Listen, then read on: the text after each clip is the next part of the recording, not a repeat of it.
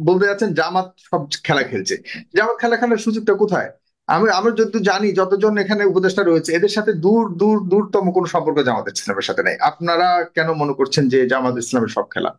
সেনাবাহিনীর প্রধানের চেয়ারে বৈশা আপনি কীভাবে একটা বেআইনি অর্গানাইজেশনের সাথে বসেন? কারণ সেনা প্রধান কি জামাত ইসলামের রাজনীতি করে বা জামাত ইসলামের সাথে যুক্ত আছে বলে মনে করেন আপনি? এটা তো সরাসরি প্রশ্ন করলেন। আমি যদি বলি যে উনি তা না করলে উনি দেশদ্রোহিতার কাজ করছেন এই সরকার একটাই পারে যদি তার গুড ইন্টেনশন থাকে। লেভেল প্লেইং ফিল্ডে ডেমোক্রেটিক ওয়েতে ইলেক্টেড গভর্নমেন্টের কাছে পাওয়ার হ্যান্ড ওভার করা নাথিং এলস এর কোনো সংস্কারের দরকার এবার সেনাপ্রধানকে নিয়ে গুরুত্বপূর্ণ কথা বললেন একজন আমি বলব তিনি আওয়ামী লীগের লোক। তিনি সবসময় সরকারের বিরুদ্ধে কথা বলতেছেন। এবার বলতেছেন সবকিছু জামাতের নাকি খেলা ছিল এই গণ অভ্যুত্থানে। বিদর্শক তিনি আসলে কি কি বলেছেন তার কথাগুলো শুনলে আপনি বুঝতে পারবেন হয়তোবা সেনাপ্রধান নিজেও এখন জামাত ইসলাম হয়ে গিয়েছে। বাংলা বাংলাদেশ বেতারে উর্দুর একটা প্রোগ্রাম হওয়ার এমন কি নেসেসিটি তামিলের হইলে পরে না হয় বুঝতাম। বা ওই সেভেন সিস্টারের কথা বারবার বলে তাদের দেশের একটা হইলে পরে বুঝতাম। উর্দুর প্রোগ্রাম খোলার জন্য আদেশ দিছে কোর্টটা খুলুক দেখব। কোর্টটা খুলুক দেখব। আমি আবারও বলতেছি দেখব কার কতদূর ক্ষমতা আছে। পারবে একটু গিয়ে শেল্টার নিতে। আমরা এই সহজেই থাকব। হ্যাঁ কিন্তু যাই হোক এটা একটু ভিন্ন আমাদের আলোচনার বাহিরে চলে গেল আপনার সাথে। ঠিক আছে আপনার আপনি ডেফিনেটলি আপনি একজন ফ্রিডম ফাইটার হিসেবে আপনার যেমন একটা দৃষ্টিভঙ্গি আছে অন্যদিকে তাদের এই যে আপনি বললেন তারা এই ভূমিকায় গেছে তাদের পক্ষেও একটা ডেফিনেটলি একটা যুক্তি আছে বা ইয়ে আছে। তো আমি হয়তো সেই বিতর্কে আর খুব বেশি যেতে চাই না কিন্তু আমি যেটা বলতে চাই যে ঢাকা ইউনিভার্সিটির ভিসি হবে একজন শিবির? আমি এটা মাইনে নেব। কিন্তু ঠিক আছে। যেখান থেকে কিন্তু শিবিরের বা জামাত ইসলামের কেউ তো উপদেষ্টা পরিষদে নাই। কিন্তু আপনি বলতে যাচ্ছেন জামাত সব খেলা খেলছে। জামাত খেলা খেলার সুযোগটা কোথায়? আমি আমরা যত জানি যতজন এখানে উপদেষ্টা রয়েছে এদের সাথে দূর দূর দূরতম কোনো সম্পর্ক জামাত ইসলামের সাথে নাই। আপনারা কেন মনে করছেন যে জামাত ইসলামের সব খেলা? মনে করতেছি যে আমরা তো ওই ঘর পড়ে গরু তাই সিঁদুরে ম্যাক দেখলে ভয় পাই। তাজুল ইসলাম নিশ্চয়ই জামাত না। রাইট ঢাকা ইউনিভার্সিটির ভিসি নিশ্চয়ই জামাত না রাইট হ্যাঁ? রাইট তারপরে কিছু এডিশনাল অ্যাটর্নি জেনারেল থেকে শুরু করে ওয়ান থার্ড নেওয়া হয়েছে অ্যাটর্নি আমার সিম্পল কোশ্চেন আমার সিম্পল কোশ্চেন ঠিক আছে আপনার মতো সবাই বলে। আমারও প্রশ্ন যে জামাত তো ওরা না কিন্তু যারা নিয়োগকর্তা ওরা তো জামাত ইসলামের কেউ না। ও এটা ঠিক বলছেন। পাঁচ আটটা যারা কুকুর তারা তো কোনদিন মানুষ না। ওরা পাঁচ আটে কুকুর। এটা যথার্থই বলছেন। জুতা চাটে যে কুকুরেই জুতা চাটে। ওগুলো মানুষের পর্যায়ে পড়ে না। পড়বেও না। না ওই জায়গাটাতে আপনি কীভাবে দেখেন ওরা তো ওরা তো নিজের থেকে তো আর ওরা ধরেন নিয়োগ পাননি।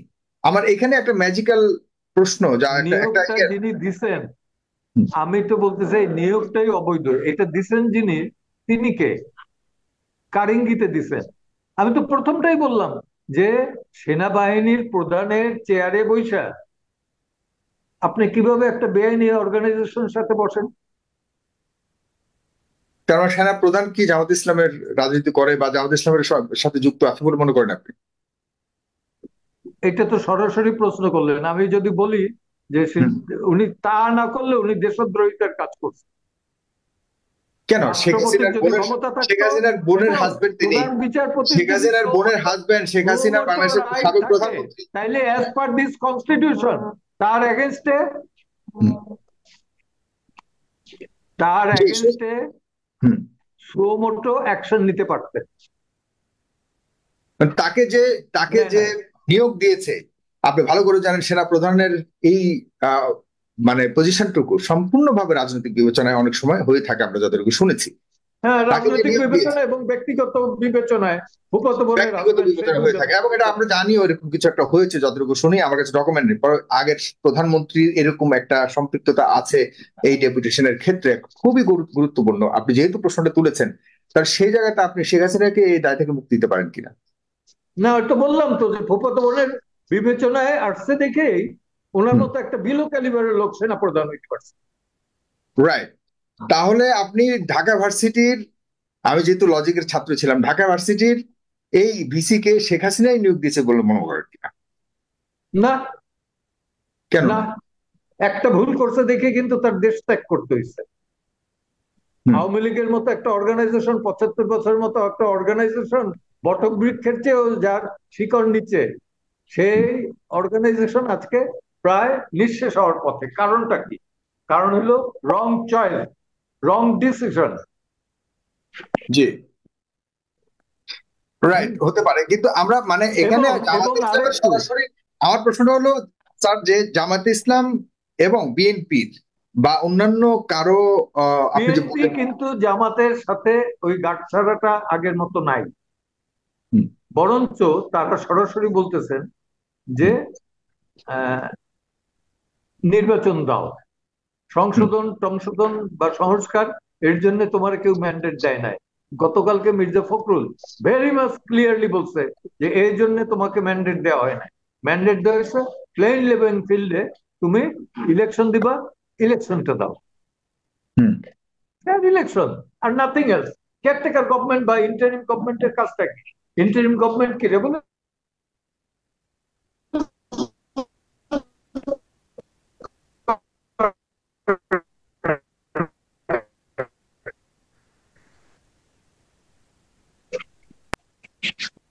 হ্যালো জি স্যার শুনতে পাচ্ছেন? জনাব জনাব জেরা খান পান্না শুনতে পাচ্ছেন? আপনি মাঝখান দিয়ে ডিসকানেক্ট হয়ে গেছেন। আমি হ্যাঁ এখন এখন মনে হয় শোনা যাবে। জি শুনতে পাচ্ছেন? বিদায় নেব? না না না না আপনাকে শোনা যাচ্ছে না তো। আপনি শুনতে পাচ্ছেন আমাকে? হ্যাঁ আমি তো ক্লিয়ার শুনতে পাই। কিন্তু আপনার দেখা যাচ্ছে না আপনার মনে হয় আবারও ফোন আসছিল। আপনি শুনতে পাচ্ছেন এখন? শুনতে পাচ্ছি।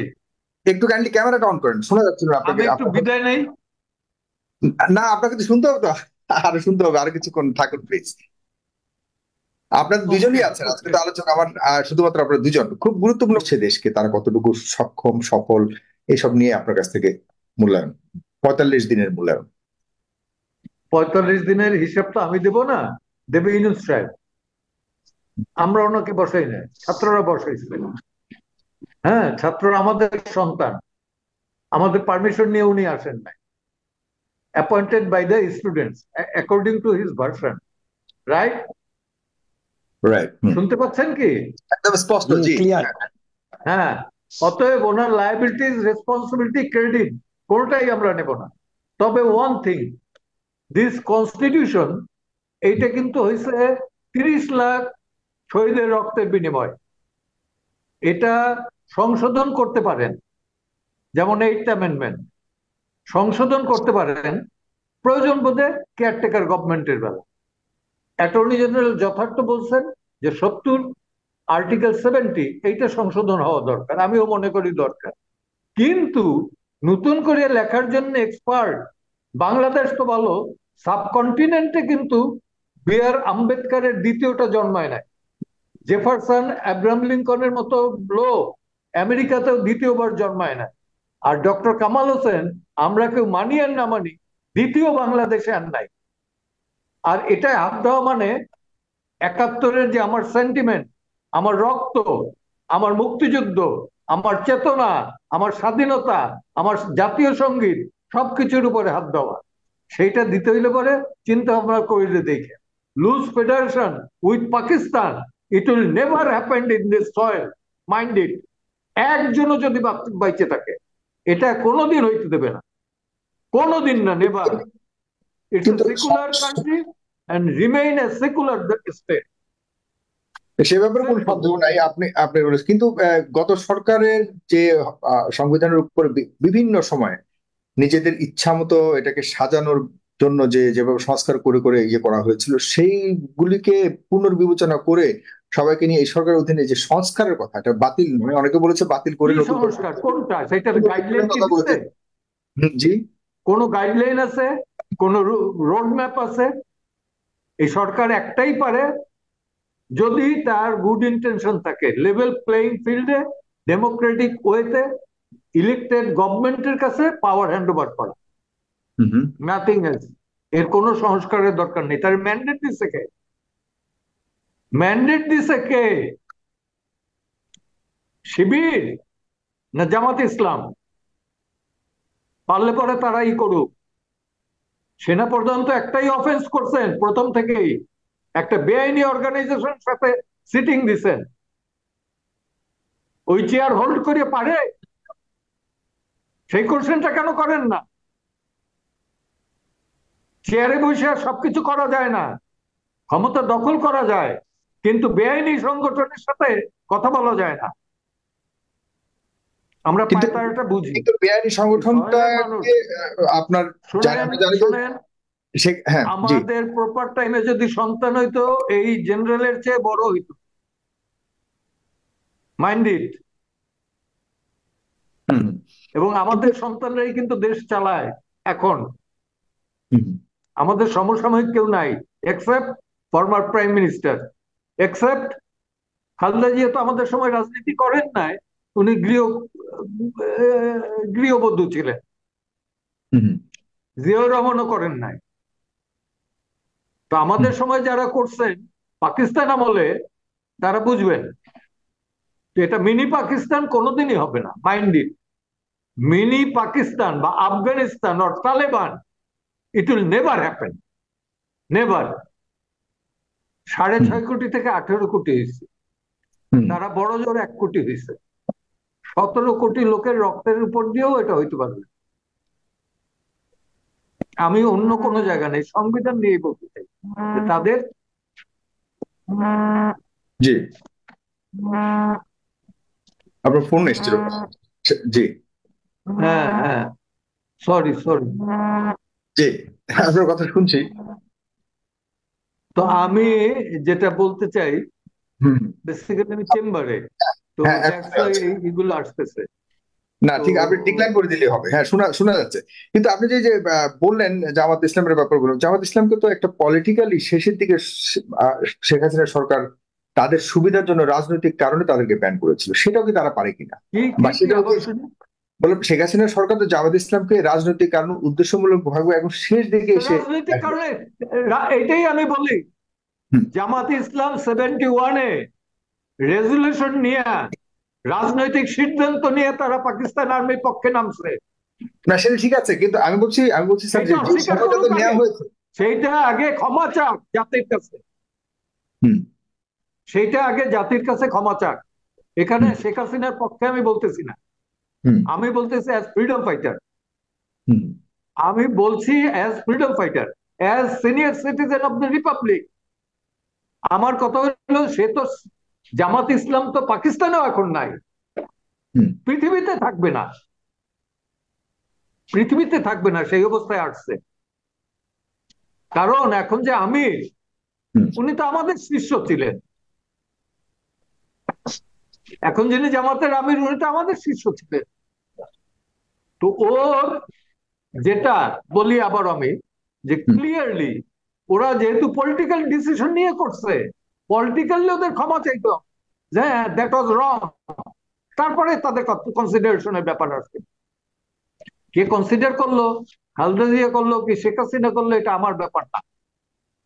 ফ্রিডম ফাইটার আমার ডিমান্ড আমি আগেও করছি গণ আদালতে করছি কিন্তু আপনি বলছি এখনও আপনি বলি আপনি যেটা বলছেন যে তারা তো ইলিগালি একটা দল বা ইলিগাল আপনি বলেছেন তাদেরকে যেহেতু ব্যান করেছে ব্যান করেছে তো রাজনৈতিক বিবেচনায়। সেটাও সেই কারণে যে আপনি বলছেন যে তারা ইলিগাল কে কেন লিগাল করে এরকম ভাবে এখন তাদেরকে বিবেচনা করছে আমি সেই জায়গাটা আমার প্রশ্ন।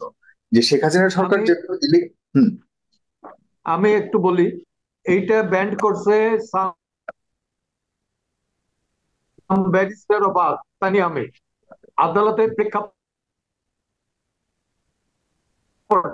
আদালতের জাজমেন্ট করে ঢিলামি করে ব্যান্ড করছেন।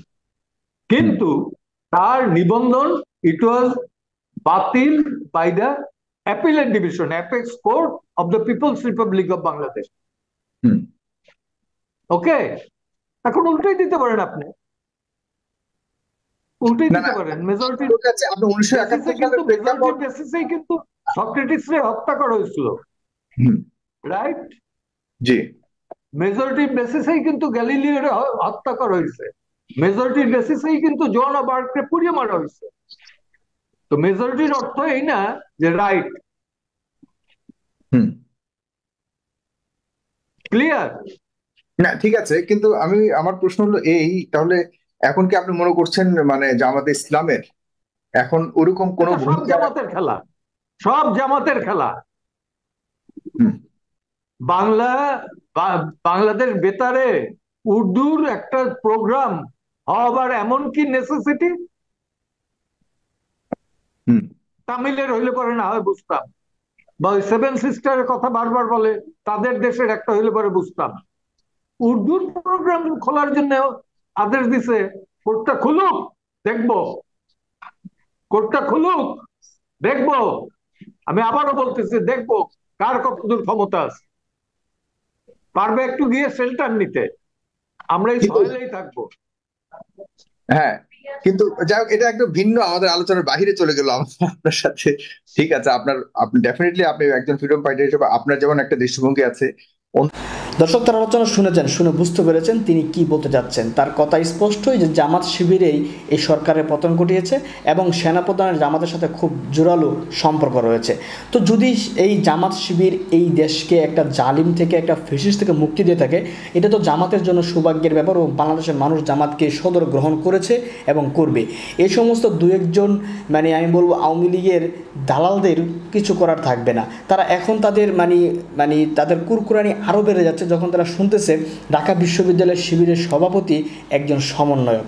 তো সারা বাংলাদেশে যে সমস্ত সমন্বয়ক রয়েছে, তাদের যদি আত্মপ্রকাশ করা হয়, আমার মনে হয় অধিকাংশই শিবিরের কর্মী থাকবে। তো তখন তো আমার এদের আত্মহত্যা করা ছাড়া কোনো পথ থাকবে না। যাই দর্শক, তার কথাগুলো এই সমস্ত কথা ইতিপূর্বে শুনেছি, আরও শুনব। এখন কয়দিন পর আওয়ামী লীগের আরও কিছু নেতা বের হবে, তারা বলবে যে জাম, বর্তমান যে সেনাপ্রধান, তিনিও জামাত ইসলাম করেন। তিনি জামাত ইসলামের অমুক শাখার সভাপতি।